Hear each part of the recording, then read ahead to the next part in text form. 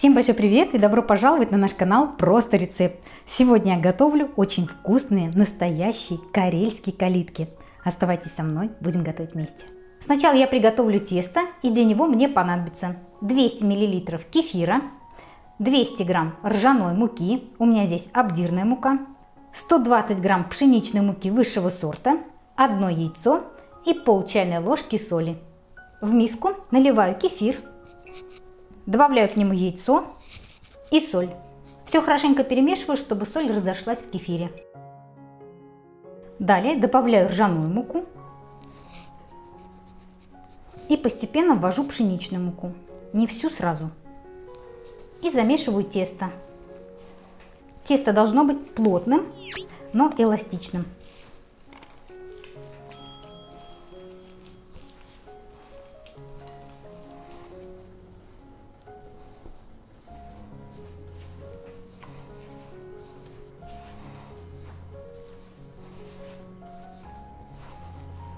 В итоге получается вот такое ржаное тесто. Перекладываю его в пакет и дам ему отдохнуть полчаса. Пока тесто отдыхает, я подготовлю начинки. У меня и сегодня будет две – сладкое и несладкое. Для сладкой я взяла 180 грамм творога, у меня 5% жирности, 2 столовые ложки сахарного песка, столовая ложка кукурузного крахмала без горки, одно яйцо пакетик 10 грамм ванильного сахара. И эти калитки сверху я буду присыпать ягодками клюквы. У меня попалась клюква садовая, она крупная, и я ее нарезала на мелкие кусочки. Эта начинка готовится очень просто. К творогу добавляю сахарный песок, ванильный сахар, яйцо и крахмал. Все тщательно перемешиваю.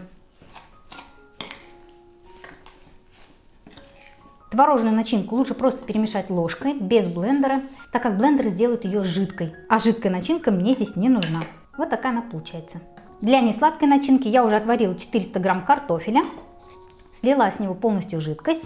Здесь у меня 60 грамм натертого сыра, немножко зелени и понадобится еще соль. Начинки могут быть совершенно любые, на ваш вкус, и варианты начинок я оставлю в описании под видео. Разминаю картофель, добавляю к нему сыр, зелень и немного соли и все тщательно перемешиваю.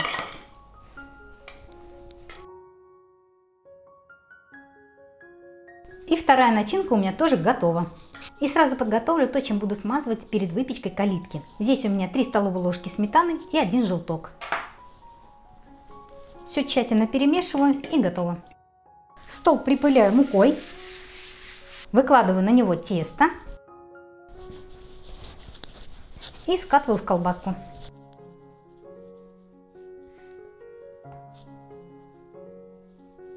И все тесто я делю на небольшие кусочки.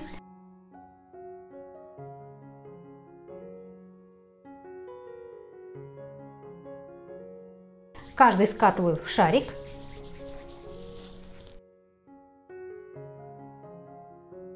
Я их обязательно прикрываю пленкой, потому что тесто очень быстро заветривается. Теперь беру один шарик, хорошенько его припыляю мукой и тонко раскатываю.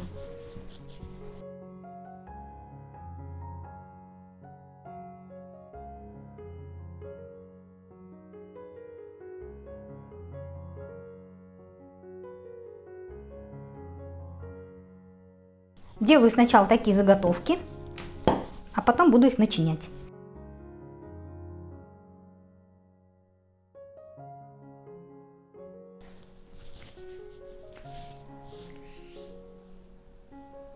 Складываю я их вот так вот стопочкой друг на друга.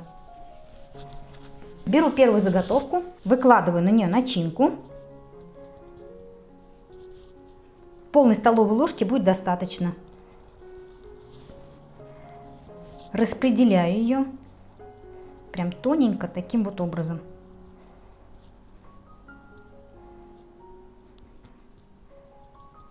И формирую калиточку. Защипываю и с двух сторон.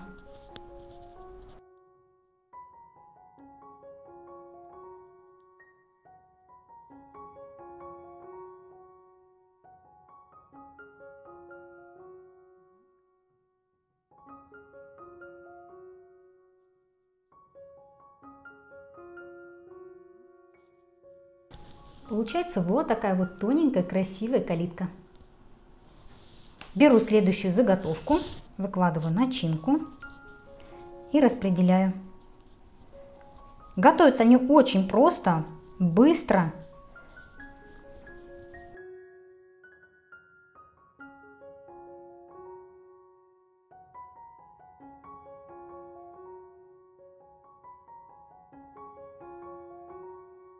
Вот таким образом я готовлю все калиточки с картошкой.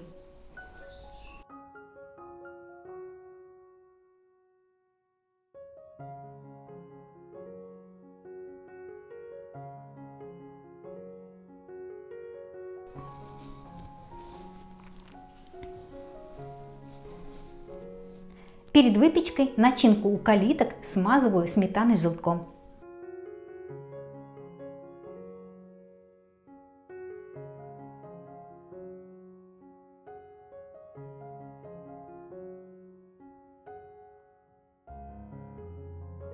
Все, калитки ставлю выпекаться в хорошо разогретую духовку 200 градусов примерно на 20 минут. Смотрите на особенности своей духовки.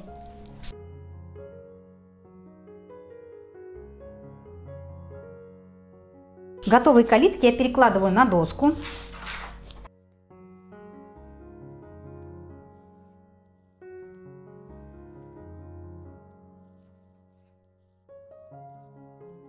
Края теста я смазываю растопленным сливочным маслом.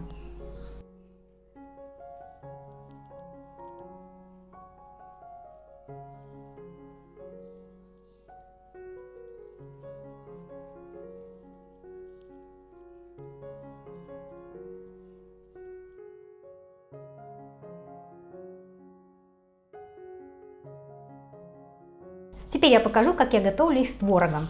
Беру заготовку, выкладываю столовую ложку творога, также ее распределяю,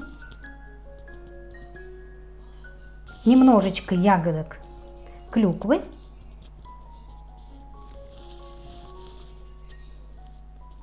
и защипываю края.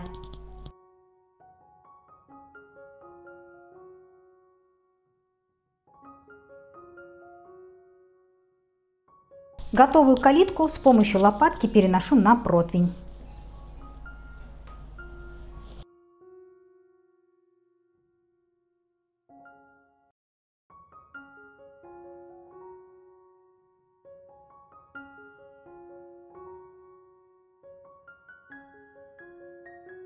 Следующую партию калиток я отправляю в духовку. С творогом калитки я не покрываю сметанкой, а вот с картофелем также покрыла сметаной с желтком. Ставлю выпекаться.